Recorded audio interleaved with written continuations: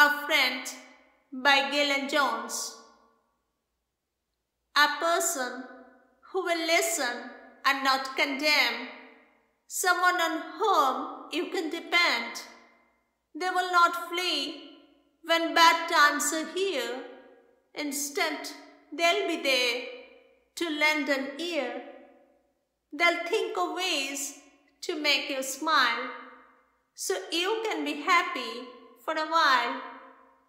When times are good and happy thereafter, they'll be there to share the laughter. Do not forget your friends at all, for they pick you up when you fall. Do not expect to just take and hold. Give friendship back. It is pure gold.